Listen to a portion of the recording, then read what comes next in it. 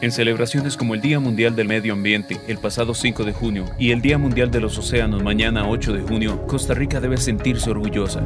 El legado de nuestros antepasados en materia ambiental sigue vigente y ha permitido que nuestro liderazgo, políticas y compromisos ambientales sigan dando frutos a nivel global. Somos el país que, gracias al trabajo de los y las diputadas, reformó su constitución para garantizar el derecho humano de acceso al agua, hito histórico que se materializó tras muchos años de esfuerzos.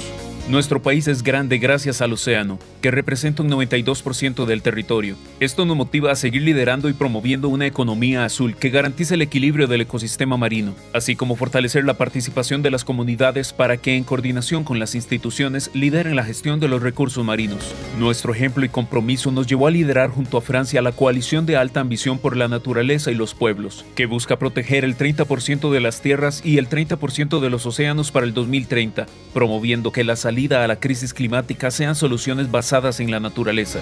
Presentamos Más Mujeres, Más Natura, una iniciativa que convierte a Costa Rica en un referente mundial en acciones concretas para el empoderamiento de las mujeres, que garanticen la vinculación entre naturaleza e igualdad de género.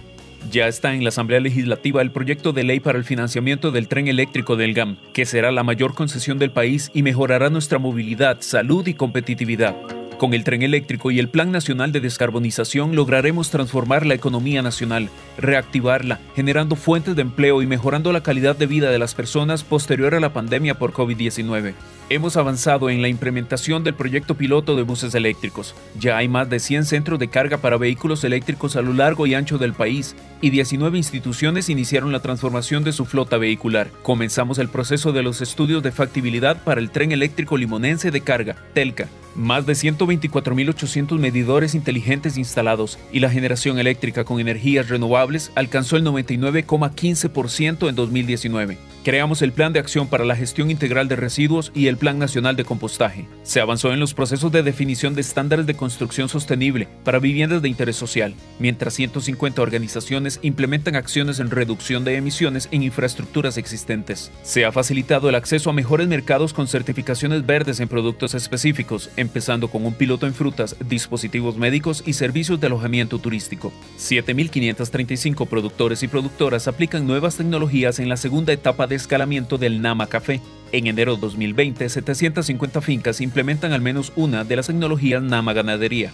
Se inició la construcción de los nuevos Nama Caña de Azúcar y Nama Banano. Se controlaron efectivamente 186 incendios forestales gracias al sistema de alerta temprana. E inició la reforestación en el río Torres y la quebrada Los Negritos, así como la restauración de 425 hectáreas en el corredor biológico María Aguilar.